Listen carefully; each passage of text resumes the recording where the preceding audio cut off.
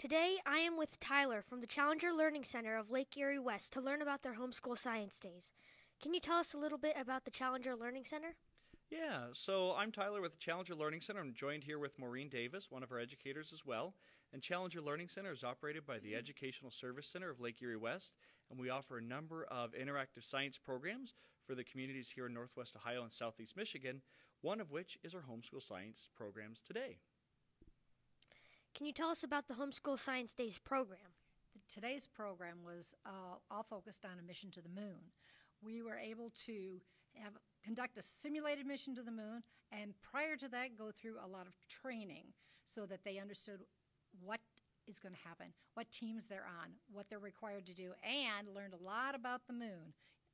Something about impact craters, something about how to go and figure out how far apart all the planets in the solar system are. It was a very a lot of different activities to prep you for the mission. Is there any age requirement? There is an age requirement. For the homeschool science days, we ask that it be students in grades 5 to 12. Is there any fee that you would have to pay?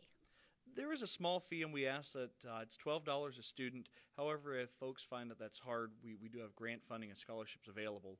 Uh, just give us a call and we can talk more about that. How can someone register for the program?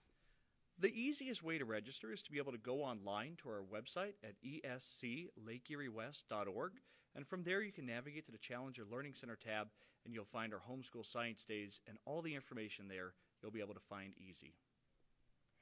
Do you have any other programs like this? We do. We offer a number of different programs. We offer simulated space missions to the moon or Mars.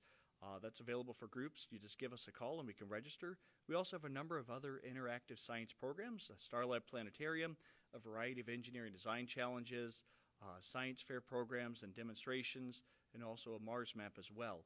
Uh, and so we go all across the state and also into Michigan as well.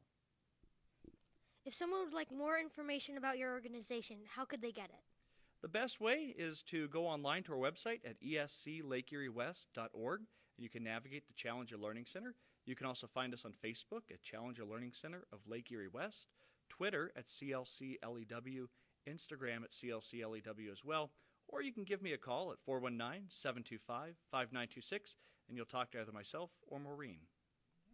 Well, thank you for your time today. Thank you. Thank you. This is Joshua Danforth reporting for the Perrysburg Digital Media Club.